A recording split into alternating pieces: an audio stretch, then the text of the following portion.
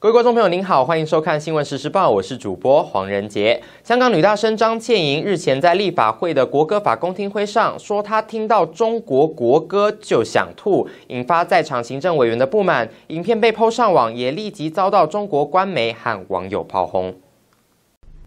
香港立法会五月初举行有关国歌法公听会，香港大专院校学生组织香港专上学生联会主席张倩莹在公听会上表示，她听到中国国歌令她想吐。张倩颖表示，升旗礼的时候，每一次播国歌，她都低头默哀，因为共产党杀害好多中国人，六四的时候杀害好多爱国学生，每次听到国歌都令她作呕，还说每一次播国歌都是杀人政权还存在和掌权的证明。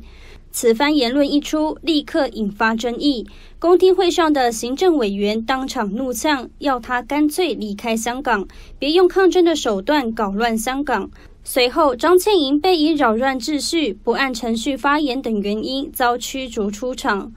后来还遭到中国官方媒体和网友围剿，痛批他是港独、人民的敌人，甚至留言恐吓。此事受到外国媒体关注，认为这是香港言论自由再次遭到重击。